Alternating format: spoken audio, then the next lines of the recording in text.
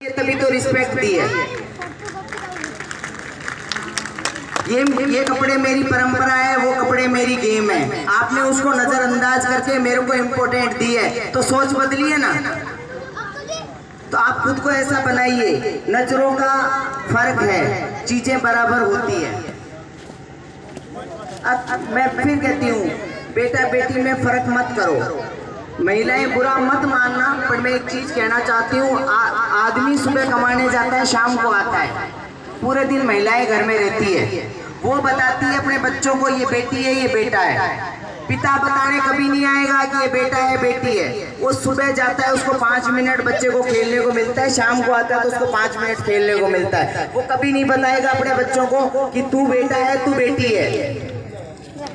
तो मेरी बहनों से निवेदन है कि आप आज से सोच लो कि मेरे दोनों बच्चे एक बराबर हैं।